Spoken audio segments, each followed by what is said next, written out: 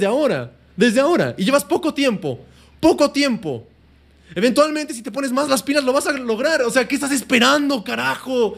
La vida es muy corta. ¿Qué estás haciendo? No la desperdicies. Gánatelo. Sé feliz, carajo.